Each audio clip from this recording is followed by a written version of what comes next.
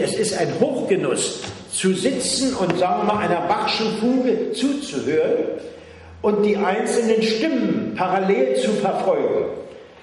Natürlich muss man da sich konzentrieren.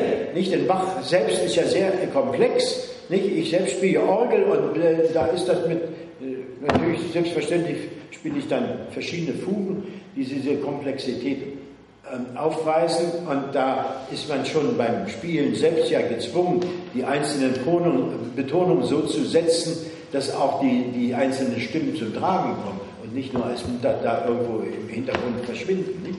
Ja?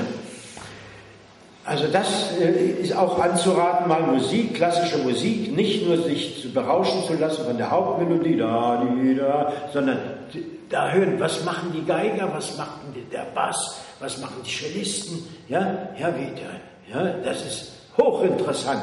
Aber das sind Dinge, auf die man verweisen muss. Wie Goethe sagte, man sieht nur das. Und das können wir auch transponieren, in, in, hier in dem Fall in die Musik. Man sieht nur das, was man weiß. Wir sehen nur in einem Bild das, was wir wissen, und wir hören auch nur das in der Musik, was wir wissen. Was wir nicht wissen, hören wir nicht. Aber jetzt durch den Hinweis, ja, und wenn sich der eine oder andere hinsetzt, wird er plötzlich auch noch zusätzlich etwas anderes hören als bisher. Wir brauchen immer den Hinweis auf die Dinge. Interessante Aspekte alles.